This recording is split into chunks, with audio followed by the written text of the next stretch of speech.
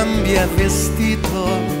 Io sono lo stesso. Verso i 14 anni entrai in contatto con un gruppo che cantava i successi dell'epoca, con cui debuttai in un, in un paese in Sicilia, una festa della matricola, insomma in qualche modo la mia mh, strada di, di cantante era cominciata.